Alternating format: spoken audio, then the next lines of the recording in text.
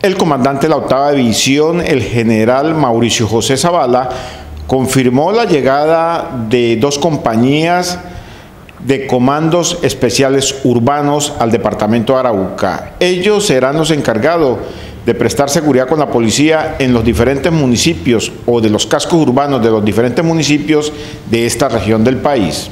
El Ejército Nacional fortaleció la seguridad en el departamento de Arauca con dos compañías nuevas con los comandos de Fuerzas Especiales Urbanas para prestar seguridad en los cascos urbanos. Traer un parte de, fortalecimiento de las instituciones para garantizar eh, mayor tranquilidad en el territorio.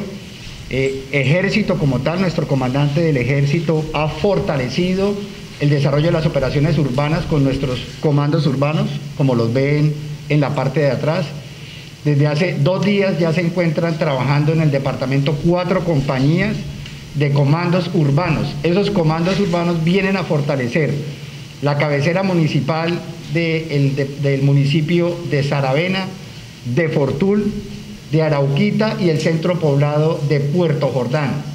Y la intención es hacer un trabajo coordinado, interinstitucional con nuestra Policía Nacional que también trae un parte de fortalecimiento con ENCAR, con policías carabineros, para hacer una acción integrada entre las dos instituciones para fortalecer el trabajo en cada uno de esos centros poblados. El comandante de la octava división del Ejército Nacional, general Mauricio José Zavala, dio a conocer que se han neutralizado varios artefactos explosivos en el departamento de Arauca. A pesar de los eventos que se han realizado eh, terroristas por parte de las estructuras del grado residual de del E10, de la estructura décima, y del ELN que han perpetuado contra la infraestructura crítica del Estado, contra la vida y la tranquilidad de nuestros conciudadanos.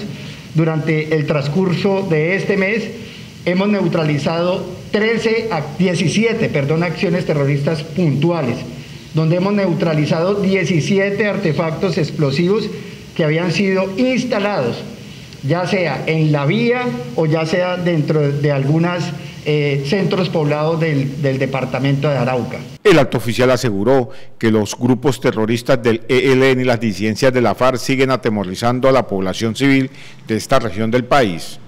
Con esa misma intención que entre las estructuras del, ELN de aterrorizar eh, a los conciudadanos que están bajo la responsabilidad de nuestra Policía Nacional y del Ejército Nacional en el en el área que estaba comprendida por la octava división, en el departamento de Casanares se ubica un depósito ilegal en el cual tenía siete artefactos explosivos listos para ser empleados, más una buena cantidad de material de intendencia de esa misma estructura del ELN. Si bien es cierto, las acciones terroristas y las intenciones de estos bandidos siguen orientadas para amedrentar y hacerle daño a la población civil, cada vez más la fuerza pública, nuestra Policía Nacional, las fuerzas militares, nuestra Fiscalía General de la Nación, seguimos haciendo un trabajo conjunto, coordinado, muy integrado para neutralizar y para judicializar a los integrantes de estas estructuras. Las dos compañías nuevas que llegaron al departamento de Arauca, su misión es la seguridad en los cascos urbanos. Estas dos compañías nuevas, ya teníamos dos que desde el principio de año vienen trabajando en Saravena y en Fortul.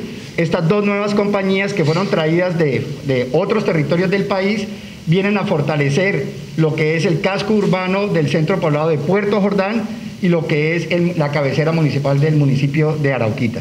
Con estas dos nuevas compañías y el ANCAR de la Policía Nacional se realizarán los trabajos coordinados. Porque tenemos, ya estuvimos, estuvo prácticamente durante todo el año 2020 desarrollando actividades dentro del casco urbano.